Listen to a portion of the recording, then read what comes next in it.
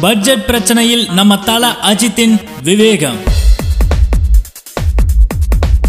Sathyajothi films மிக பிரம்மாண்டமான தயாரிப்பிலும் இயக்குனர் சிவா இயக்கத்திலும் அஜித் நடித்து வர படம் தான் விவேகம். விவேக் ஓபராய் காஜல் அகர்வால் அக்ஷரா ஹாசன் பலர் நடித்து வர இந்த படம் வர ஆகஸ்ட் மாசம் பத்தாம் தேதி வெளியாகும் அப்படின்னு சொல்லப்படுது. இந்த படத்தோட படப்பிடிப்பு சமீபத்துல பல்கேரியாவில் நடந்து முடிஞ்சது. இன்னும் ஒரு சில காட்சிகள் மட்டுமே எடுக்க வேண்டியிருக்க நிலையில இந்த படத்தினுடைய கிராபிக்ஸ் வேலைகள் இப்போ தொடங்கியிருக்கு. இப்போ வாட்ஸ் தி ஹாட் மேட்டர்னு பார்த்தீங்கன்னா நம்ம தல அஜித் அவர்கள் விவேகம் படத்துக்கு பிறகு மீண்டும் சிவா இயக்கத்தை தான் நடிக்க போறாரு. அது மட்டும் இல்லாம அந்த படத்தை சத்யஜோதி பிலிம்ஸ் தான் தயாரிக்க இருக்கிறாங்க. அப்படின்ற தகவல் வெளியாயிட்டு வருது. எஸ் இதுக்கு காரணம் படத்தோட வெளிநாட்டு லொகேஷன் அண்ட் அதிகப்படியான கிராஃபிக் காட்சிகள்.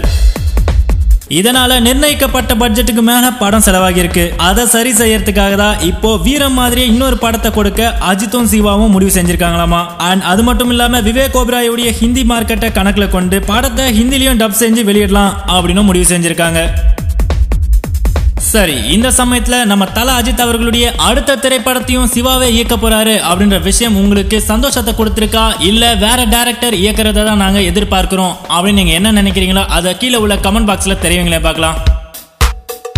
இனி இது போல அடுத்தடுத்த மேலும் சுவாரஸ்யமான விஷயங்களையும் தகவல்களையும் தெரிந்து கொள்ள சப்ஸ்கிரைப் பண்ணுங்க பக்கா டிவி